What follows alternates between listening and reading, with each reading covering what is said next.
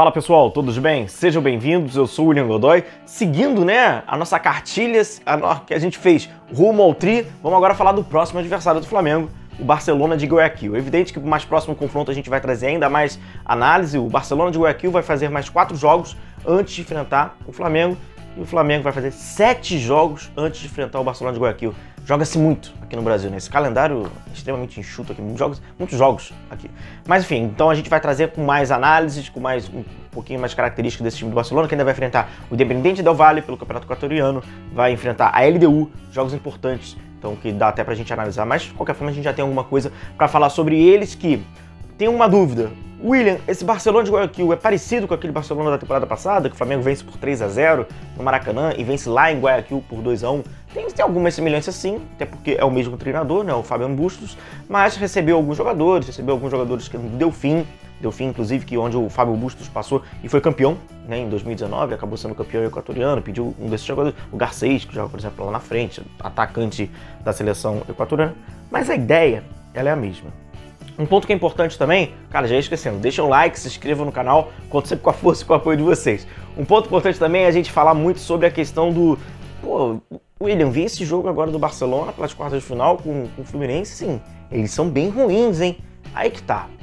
É, quando a gente acompanha o Barcelona de Guayaquil pela campanha toda da Libertadores, classificou em primeiro, vencendo o Santos na Vila Belmiro, empatando com o Boca Juniors e vencendo o Guayaquil, não perdeu para Boca, não perdeu para Santos, classificou em primeiro passando depois a, pelas oitavas de final pelo Vélez, também vencendo o Vélez por 3 a 1 perdendo por 1 a 0 e agora o Fluminense. Ao que me parece é que houve uma regressão. De fato, quando o cara assim não acompanhou nada do, do Barcelona de Guayaquil, olhou unicamente os jogos contra o Fluminense e falou assim: hum, que timezinho ruim. O jogo do Barcelona de Guayaquil foi ruim contra o Fluminense, inclusive no jogo de ontem foi muito ruim o jogo. Mas o Barcelona me parece ter regredido, porque o Barcelona da primeira fase, o Barcelona desses jogos grandes que eu citei antes, foi um Barcelona de Guayaquil bom. E aí, como é que é esse Barcelona de Guayaquil? Eu vou trazer para vocês algumas imagens e, inclusive, algumas semelhanças né, do, do aquele Barcelona que a gente enfrentou em 2020 e tem pontos importantes, pontos fracos. Joga no 4-5-1, né? Aí o pessoal tem a variação, pode ser um 4-2-3-1, tem a variação do 4-3-3, mas é um 4-5-1. Fábio Bustos ele coloca esse Barcelona de Guayaquil no 4-5-1, que tem muita semelhança ao Delfim que ele treinou em 2019, que era um time de reação. Apesar do Barcelona ser uma equipe grande do futebol equatoriano, é o maior vencedor, inclusive, do futebol equatoriano, mas joga na reação, joga pelo contra-ataque. Com muita força pelos dois lados e, claro, um cérebro, né? Que é o Damian Dias, o Quito Dias, experiente jogador argentino que naturalizou Equador, inclusive equatoriano, inclusive ele joga na seleção equatoriana, ele é o cérebro desse time e aí mais à frente trabalha como um, um homem de referência. Esse 4-2-3-1, vou colocar até na imagem para vocês. Eles iniciam um 4-2-3-1, quando vai sair a bola, três jogadores atrás, Pinhatares sai nessa saída de bola, né, ao lado do, do Ribeiros, fala bastante, inclusive, do Ribeiros, é um personagem importante. Os dois laterais bem abertos, mais à frente o Molina, mais à frente do Molina aí, porque aí sem incumbência, joga bem solto, como um engante mesmo, né? O Damian Dias e aí lá na frente o centroavante. Mas só que a gente vai observar que quando eles defendem, esse 4-2-3-1, né, essa espécie de 4-3-3, ela se transforma praticamente num 4-5-1, com os laterais fechando bastante dentro da área, os jogadores mais à frente, né, aqueles alas, eles ajudam também bastante, e aí fica o Damian à frente dessa linha com quatro jogadores, é uma espécie de 4-4-1-1, e mais à frente do Damian o centroavante. Então a gente vê bastante que é um pouquinho confortável, né? Não dá tanta incumbência defensiva assim ao Damian Dias, ele que é responsável por esse, por esse último passo. Tem o Preciado, né? Um jogador de muita velocidade, joga um pouquinho mais, mais aberto pelo lado direito, também atua pelo lado esquerdo em algumas ocasiões, mas é esse, assim, a, a origem realmente da formação é um 4-5-1, tentando botar bastante volume no meio campo. E aí o que acontece diretamente com o Flamengo, então a gente já sabe que é um time que lá na frente ele marca mais no início da, do, do, da partida, nos primeiros 15 minutos tal. Depois ele vai dessas suas linhas e aí joga na reação, joga no contra-ataque, mas povoando, dando bastante numerosidade no meio de campo. Nem à toa que são cinco jogadores que vão, vão trabalhando neles, entre esses o Damian que joga um pouquinho mais à frente. A questão defensiva do Barcelona de Guayaquil ela é curiosa. E aí vocês com certeza vão lembrar, eu lembro que eu trouxe análise aqui, inclusive eu peguei um recorte dessa análise. Perseguição. Perseguição total, sobretudo ao Davi Luiz da Deep Web, né?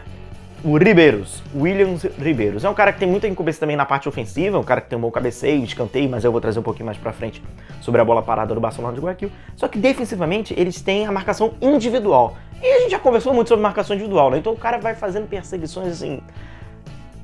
Deslocamento altíssimo, ele sai daquela, daquela última linha, a última linha fica completamente desorganizada. E eu acho que esse é o ponto fraco da equipe do Barcelona de Guayaquil, a forma de se defender.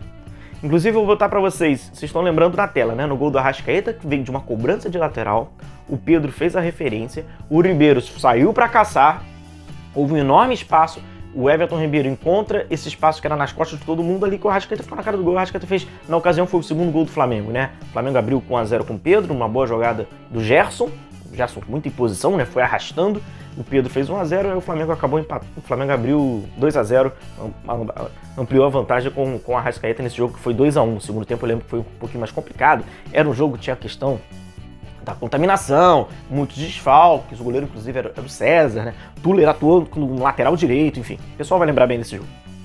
Mas a questão é essa de perseguição. Então quando a gente trouxe esse gol do Flamengo, e agora eu vou trazer para vocês o gol do Vélez, que também tem uma origem, cobrança de lateral, a ideia ela é muito semelhante como vocês vão observar, uma cobrança de lateral, o, o atacante do Vélez faz o um movimento externo que vai atrair o Ribeiros, o Ribeiros vai persegui-lo, vai sair de dentro da área. Então você vê uma movimentação que tira o seu zagueiro de dentro da área, a jogada ela prossegue e um outro jogador, né, um terceiro homem do Vélez, entra naquele espaço, inclusive é ele que faz o cabeceio, e olha onde o Ribeiros fica, completamente fora da jogada. Porque perseguição, é uma marcação individual. E aí quando a gente trata hoje para o Flamengo, aí eu fico tranquilo nesse ponto, porque o Flamengo é um time de movimentação, sobretudo movimentação lá na frente.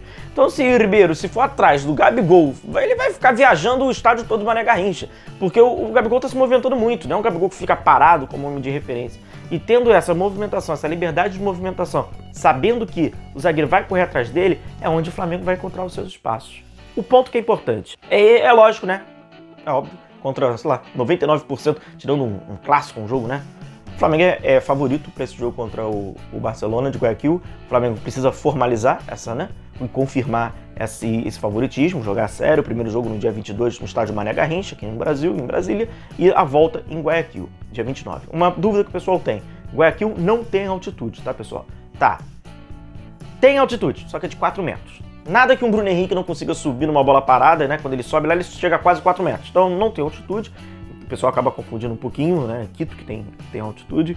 Então o Flamengo joga em casa para confirmar esse favoritismo e aí sim chegar a essa decisão, como a gente tem falado há muito tempo aqui, né? Rumo a Montevideo, rumo a esse, a esse tricampeonato. Tem que abrir o olho, é uma equipe que joga muito na reação, na força, mas me parece estar regredindo nesses últimos jogos, sobretudo de Libertadores. Ainda farão quatro jogos, lembrando que o Flamengo fará sete. Tá bom, pessoal? Então, mais uma vez, obrigado aí pela companhia de vocês. Deixem um like, se inscrevam no canal, continue se cuidando. A gente vai falando e tem muita coisa ainda para falar sobre o Barcelona mais próximo confronto. Compromisso marcado. Valeu, galera. Um forte abraço a todos. Tchau, tchau.